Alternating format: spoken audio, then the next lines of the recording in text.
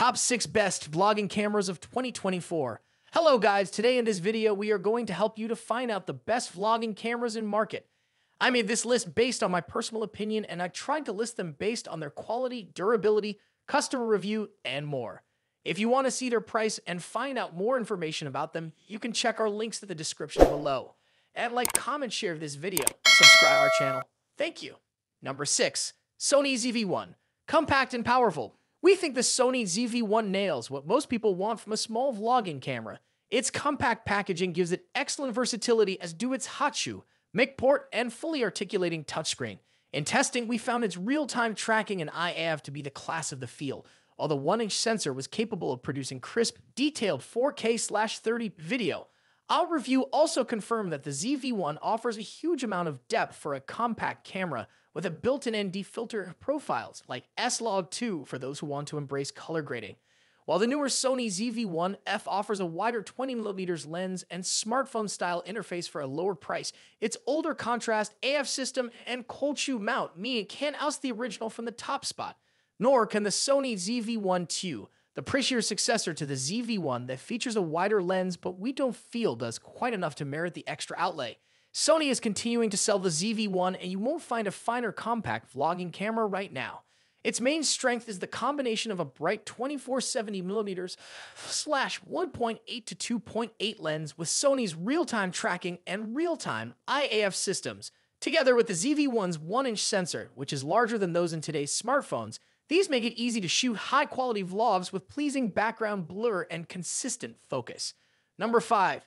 DJI Pocket 2 we were big fans of the original DJI Osmo Pocket. This sequel fixes a lot of its limitations and makes it the best compact option around for solo filmmakers. The Sony ZV-1, above, trumps it for outright video quality, but if you tend to shoot a lot of walk and talk style clips, then the Pocket 2's combination of a 3-axis gimbal and solid face tracking could make it more appealing.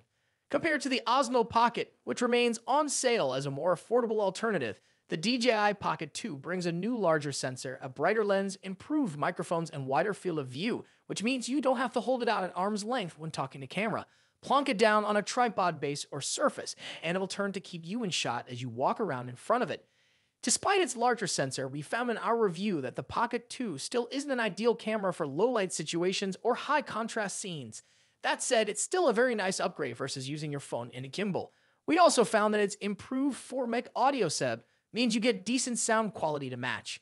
The DJI Pocket 2 clearly wants to be the Steadicam option for vloggers and casual filmmakers. It's never going to win over hardcore videographers. After all, its all-seeing eye is a 64MP camera with a smartphone-style sensor. How much quality can you realistically expect? That said, when you combine that sensor with DJI's mastery of stabilization and object tracking, something very special ends up happening. If you're familiar with the brand's recent launches, you'll know that DJI has dropped Osmo from its consumer grade products like the DJI Mobile 4 smartphone gimbal.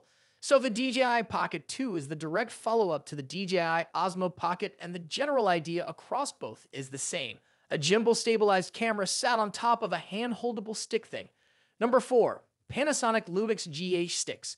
Panasonic's GH5U is one of our favorite cameras for vloggers, offering plenty of creative potential in compact packaging. The GH6 tops it on almost every metric.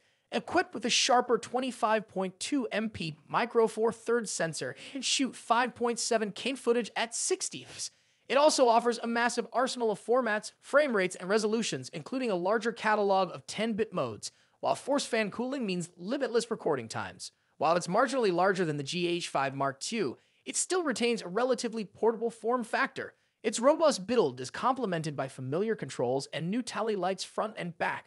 The 3-inch rear touchscreen flips, twists, and tilts, while a second video record button on the front now makes it easier for vloggers to start rolling. Connectivity options are comprehensive, although the GH6 does lack the live streaming capabilities of the GH5 Mark II. There's still no phase detection AF either, although contrast-based autofocus performance does seem improved from the GH5 Mark II. Stabilization is superior too, courtesy of an algorithmic upgrade that makes the GH6 one of the best cameras for smoothing out walking, motion in a natural way. Number 3. Fujifilm X-S20. The Fujifilm X-S20 takes everything that made the X-S10 one of our favorite vlogging cameras introduces features that make it feel like a more user-friendly option for fledgling content creators. Inheriting the well balanced body of the XS10 means the XS20 sits very comfortably in the hand, while our first impressions in testing found that simplified dials on the top plate make it easier to get to grips with what is quite an advanced shooting tool. It also inherits the same 26.1 MP X-Trans CMOS 4 sensor as the XS10 XT4, which we already know from our previous tests is a top performer. The XS20 boosts things further by offering 6K/30 4 to 2 210-bit internal recording, which is close to overkill. Improved in-body image stabilization also worked well in testing. With a bigger battery on board, we think this all adds up to a great mirrorless all-rounder. Its price hike will be a drawback for many beginners, while the lack of weather sealing is a broader disappointment. The older XS10 is still available at a lower price, but features such as a dedicated vlog mode, which puts neat creative settings a tap away, make the XS20 a more tempting proposition for vloggers.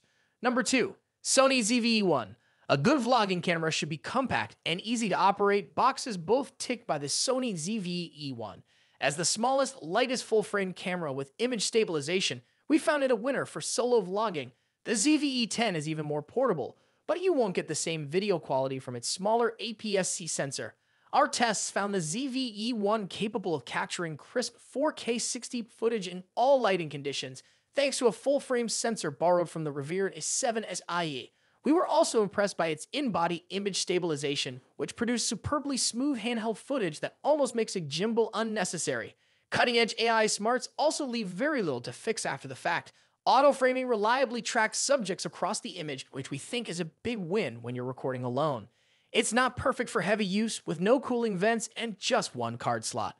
We also found it tricky to pick out details on the vari-angle touchscreen when working outdoors. But if you're a content creator operating solo, we still think the ZV-E1 is the ultimate full-frame choice for 4K vlogging. The Sony ZV-E1 is a video-centric full-frame camera that brings together multiple worlds. The simple handling of Sony's ZV range of cameras designed for vlogging and content creators, with a sprinkling of Sony Scene Camera Grunt and Sony's best quality consumer-level 4K video.